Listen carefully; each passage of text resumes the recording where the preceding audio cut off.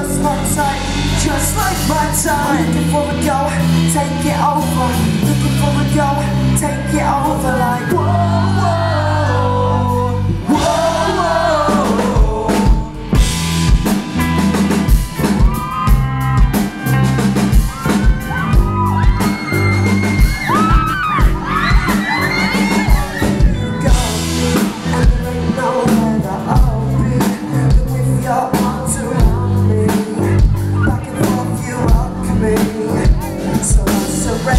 now.